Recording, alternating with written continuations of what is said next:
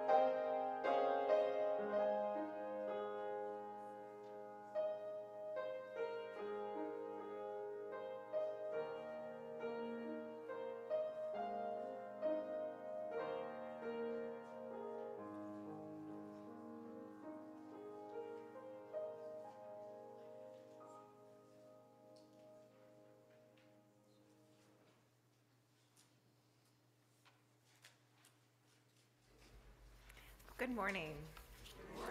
Please join me in our gathering words. Come into the Messiah's bright and dazzling light. The day of God's kingdom dawns. Come to learn from the Son of Man, the one who makes sense of this human life. Come to follow the Son of God who shines with love and power, who lights our way into a world in need of good news. O Holy One, on mountaintops and valley floors, you reveal to us the light of your love. Our heart's desire is to ask in this amazing glory of the divine presence. With each encounter, we are changed and transformed. Draw us nearer that we might receive a double portion of your Holy Spirit. Help us, O Holy One, to live our lives as a reflection of divine glory. May we walk among our brothers and sisters as a blessing, bearing light into the dark places, hope to displace despair, and love that casts out hate. Maybe then we will hear your voice speaking to us, saying, Listen to my child, the beloved.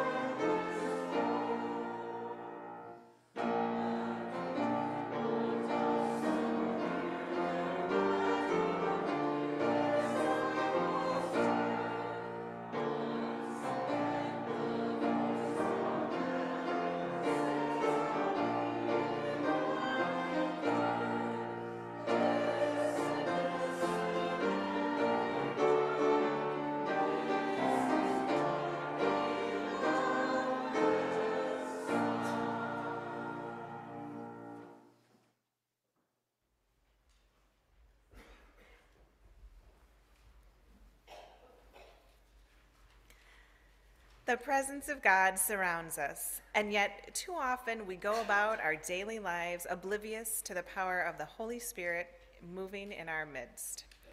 Let us together confess the ways in which we are blind to God's ever present care. You invite us to a new way of life, O God, based in honesty and trust, following you into the fullness of life and death and new life with all the ups and downs. We confess that we don't like to think of the hard parts, and we prefer to turn away when we see suffering coming towards us or those we love. We admit that we have even tried to protect you, stepping in front and trying to change your way to fit our own comfort and idea of success. Forgive us when we impose our limited understanding on you. Guide us to take our proper place following you, rather than trying to lead you. Show us how to orient ourselves to you so that all else fits together for your big picture and your light shines out through us. Amen.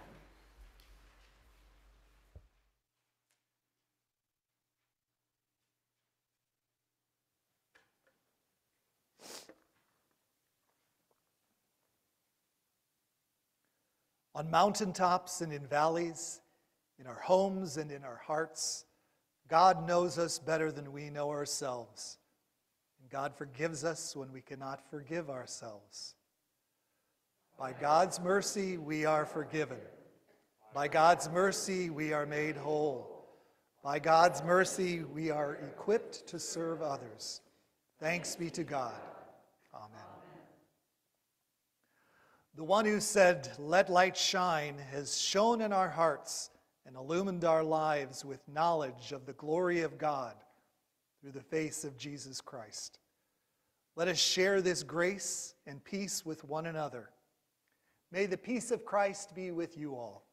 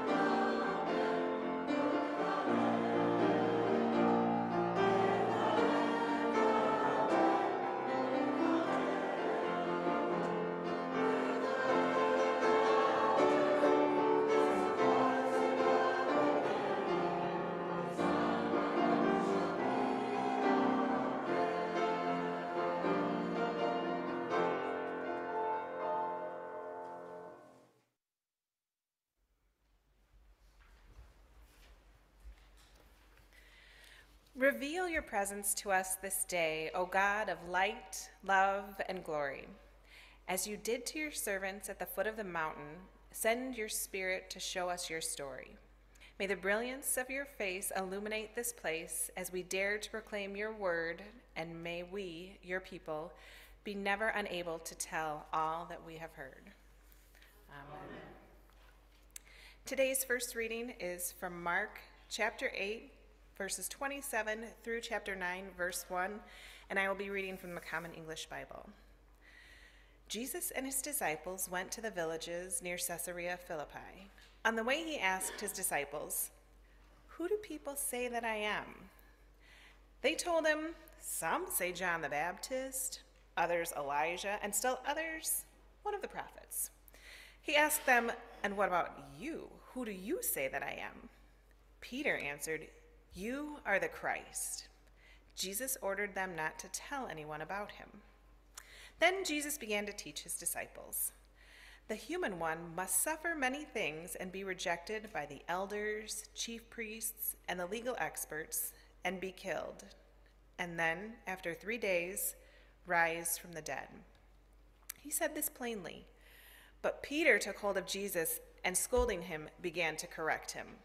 Jesus turned and looked at his disciples, then sternly corrected Peter Get behind me, Satan.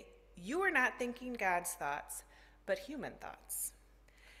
After calling the crowd together with his disciples, Jesus said to them, All who want to come after me must say no to themselves, take up their cross, and follow me. All who want to save their lives will lose them, but all who lose their lives because of me and because of the good news will save them. Why would people gain the whole world but lose their lives? What will people give in exchange for their lives? Whoever is ashamed of me and my words in this unfaithful and sinful generation, the human one will be ashamed of that person when he comes in the Father's glory with the holy angels. Jesus continued, I assure you that some standing here won't die before they see God's kingdom arrive in power. Word of the Lord.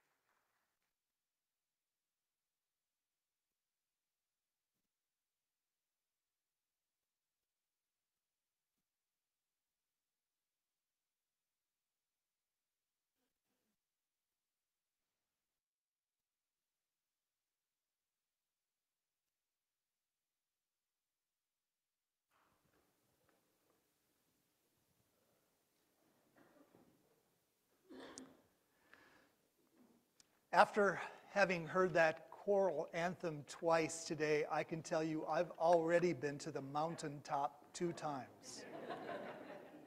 Absolutely beautiful. Thank you. The gospel for today is taken from the gospel according to Mark. Six days later, Jesus took with him Peter and James and John and led them up a high mountain apart by themselves. And he was transfigured before them, and his clothes became dazzling white, such as no one on earth could bleach them. And there appeared to them Elijah and Moses, who were talking with Jesus. Then Peter said to Jesus, Rabbi, it is good for us to be here. Let us make three dwellings one for you, one for Moses, and one for Elijah. He did not know what to say, for they were terrified. And then a cloud overshadowed them, and from the cloud there came a voice This is my Son, the beloved. Listen to him. And suddenly, when they looked around, they saw no one with them anymore but only Jesus. And as they were coming down the mountain, he ordered them to tell no one about what they had seen until after the Son of Man had risen from the dead. This is the gospel of the Lord.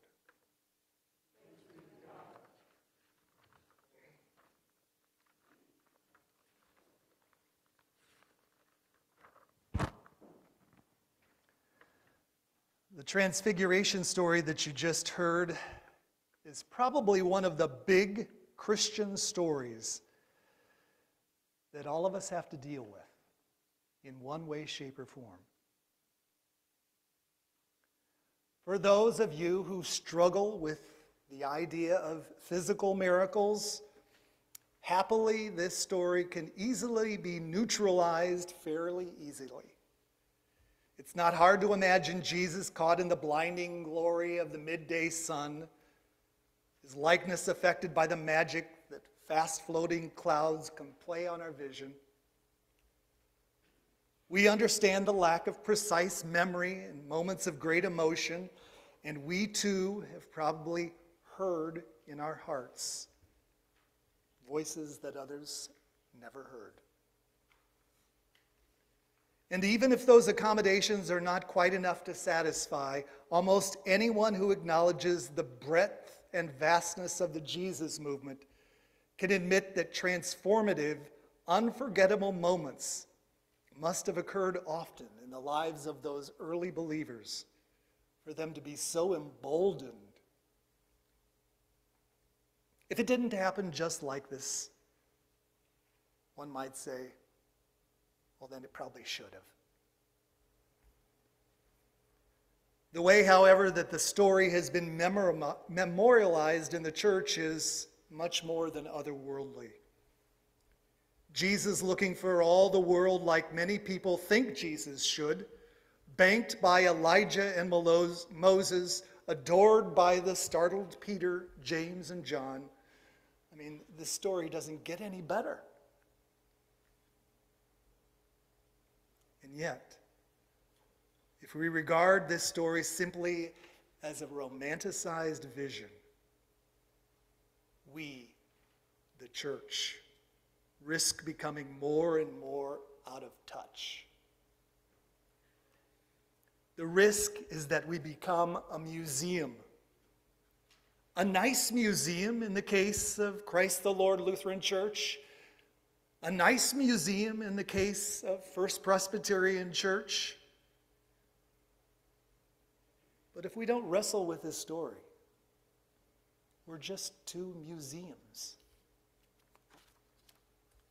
Now, don't get me wrong, museums can change lives, acquainting us with nearly unspeakable beauty and artistry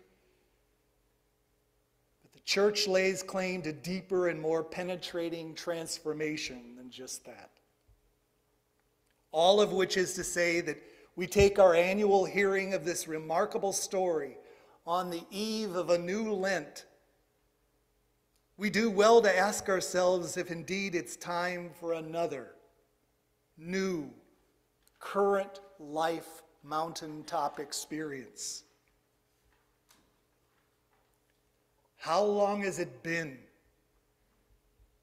since we've felt our spirits soar in the presence of a God? When was the last time for you? Do we languish in a world of intellectualism and materialism that's left us people who have trouble imagining an encounter with God that would rock us to the core of our being? That's true of us. And today, let's hear a call of God to get ourselves up to a mountaintop again. Let's do it quickly.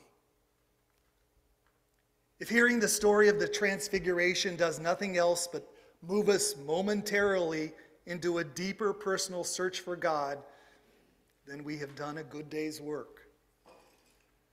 But the message on my heart this morning is broader than that. It resides in a place that's deeper than even an important call to reignite our own personal devotions. It seems to me that it's time for the church to go back to the mountaintop to either get some new operating instructions or more likely to hear again with new ears the instructions delivered by the glowing Christ.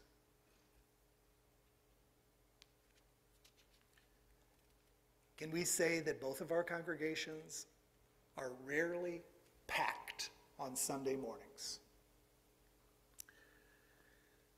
And it seems to me that the message that these disciples received, whether on the top of the mountain, which we've just heard, or more likely simply in the course of their lives with Jesus, is a message that ought to bring scores of people into the house of worship every week. Listen again to what those disciples heard. From the voice, presumed to be God, they heard a voice that said, Listen to him. Listen to the beloved, my son. And from Jesus himself, they heard, Get up and don't be afraid. The hope of the movement depends upon our willingness to hear those same instructions in our context, in our time. Listen to him. Get up and don't be afraid. Listen to him, the voice said. Listen to him when he says things like, Love like you have never loved before. Don't let the least of those around you be without. No one can be hungry or thirsty or naked or alone.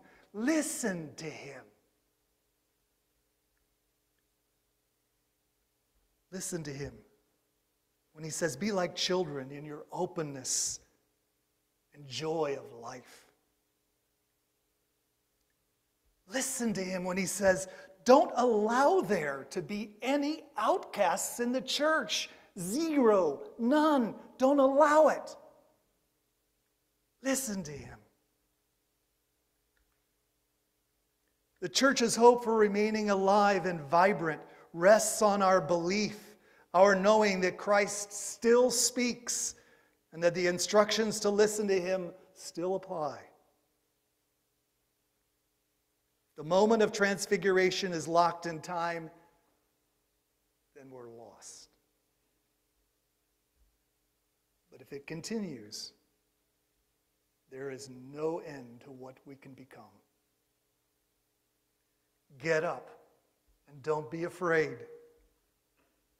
So often found among the recalled sayings of Jesus, there can be little doubt that Jesus regularly said something like, Don't be afraid. I say this as one who is oftentimes, maybe constantly afraid myself. There are no more encouraging words in the gospel than those But Jesus didn't say, Don't be afraid, just so that we'll feel better.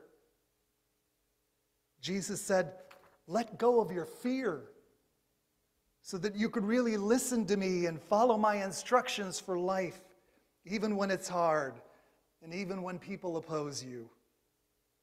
And they will.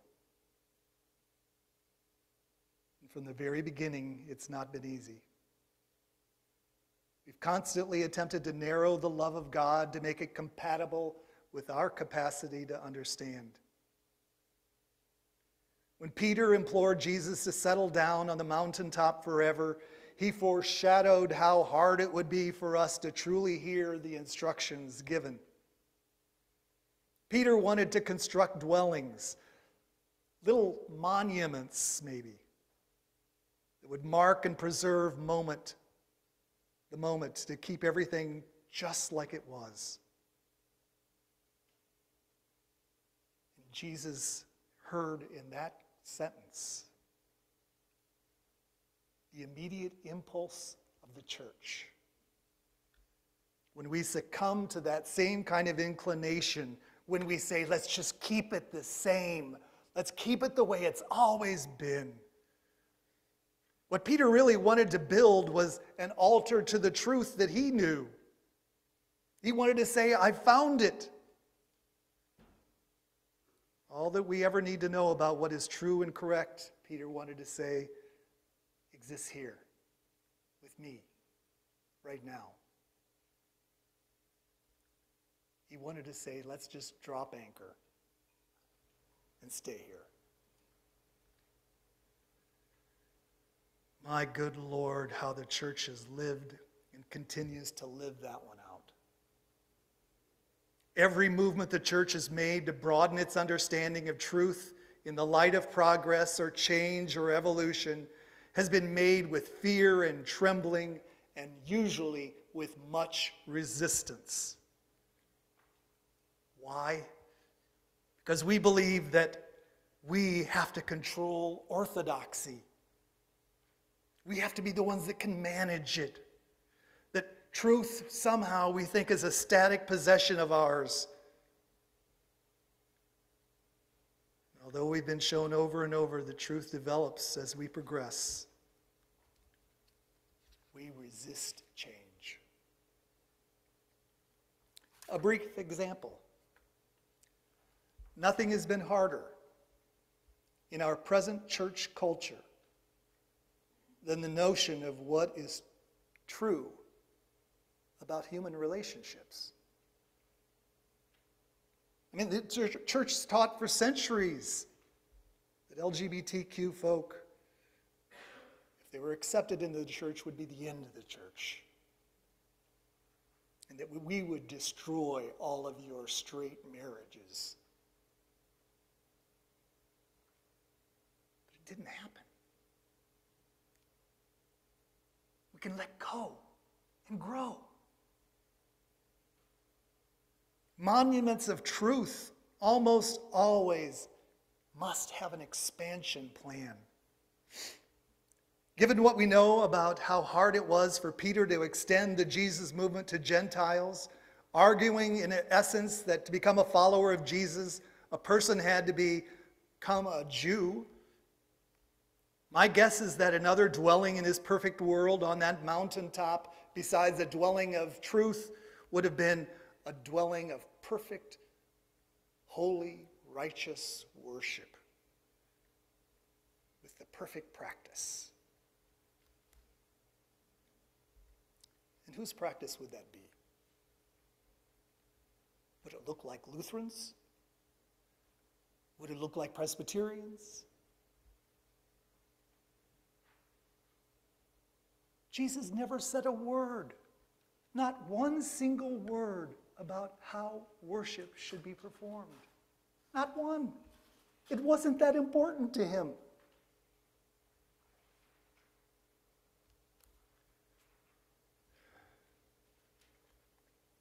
Does that mean that he didn't care about worship? I don't know, but it does seem that we are in a generation of rules about practice that have nothing to do with Jesus. Many churches of our ilk require that for a person to be baptized, that a, for, to be able to receive communion, a person must be baptized. I don't know. Is that the way it is in your church? Good. Because the Bible doesn't say anything like that. Jesus never said anything about that. But it has become a part of the core belief that people have. And we can drop it and listen again with a new ear and see where God is taking us today, how God is calling us to grow. We don't have to be afraid of the new vision that God gives us to love and serve to the end of the world. In Jesus' name, amen.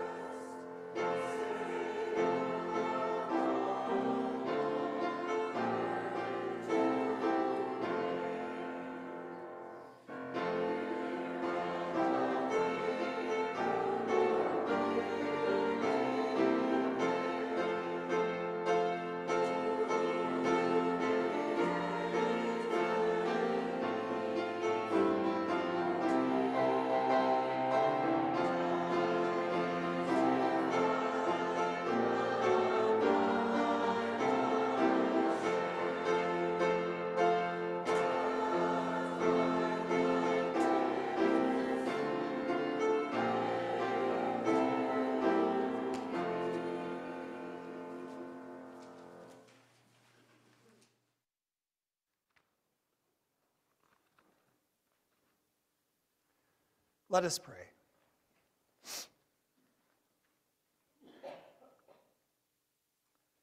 God with us, you refuse to stand apart, to hover above, to step back from your beloved creation.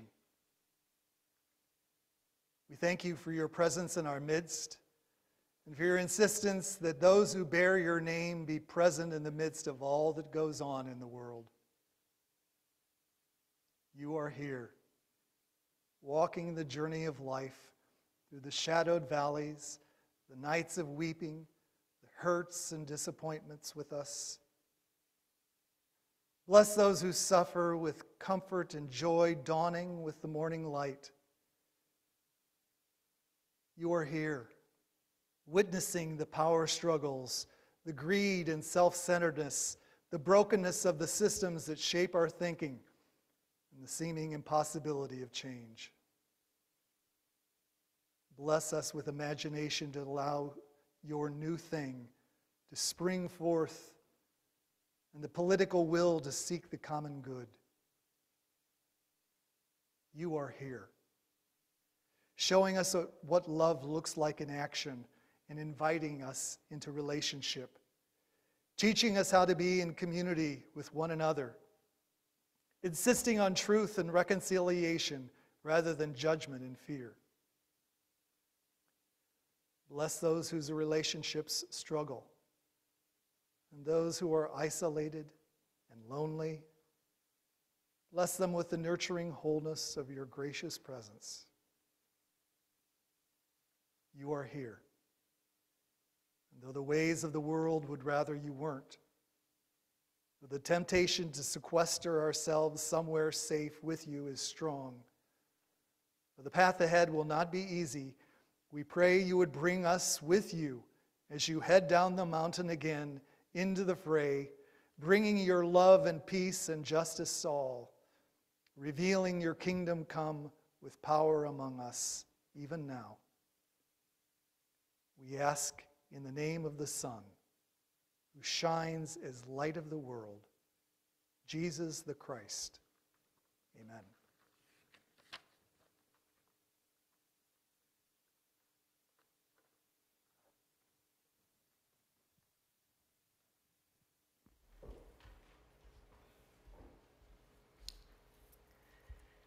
Please join me in prayer. Our Father, who art in heaven, hallowed be thy name.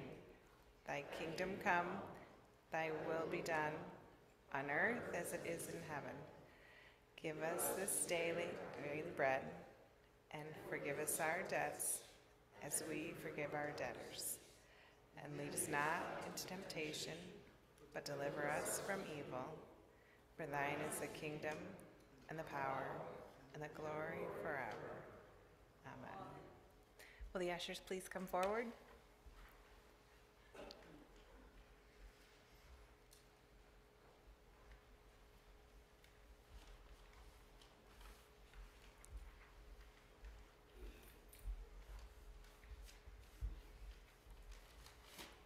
In a world of shadows and clouds, we are invited to proclaim the light of Christ. As the plates are passed today, may light guide our thoughts and help us know how to give of ourselves and our gifts so that we may become light in a shadowy world.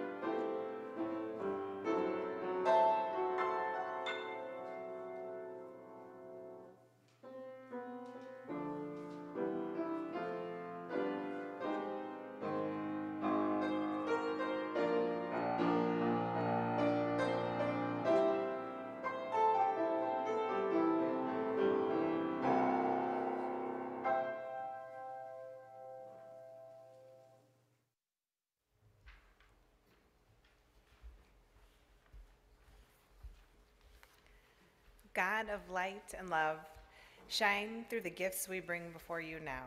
Speak through our hearts and our actions. Bless our gifts, our offerings, and our very lives, that we may bless others with your presence.